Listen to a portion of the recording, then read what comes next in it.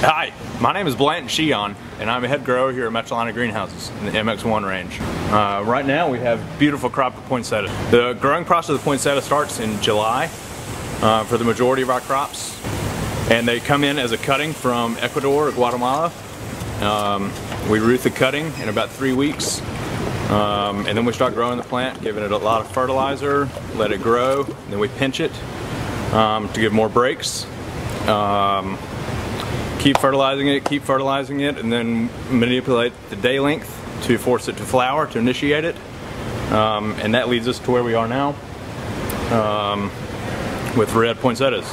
I got this industry was always intriguing. Um, growing up with my folks, um, hanging out in the yard, in the garden, pulling weeds. Um, I just, I always like being outside.